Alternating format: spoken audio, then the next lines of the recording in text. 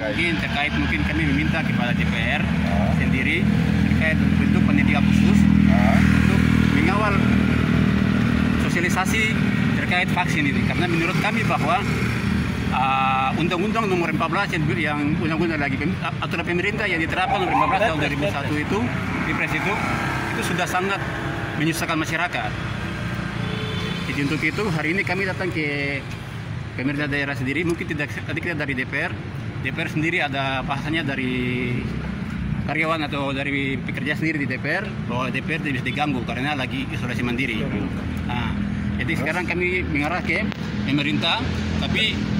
ada hal-hal yang mungkin kami merasa gelisah sedikit terkait dengan kita memasuki dalam harus kita lakukan swab, terus aksi yang seharusnya kami lakukan aksi tadi kami ditolak itu menjadi salah satu prihatin untuk kami sendiri. Bang kalau kalau 啥呀，大明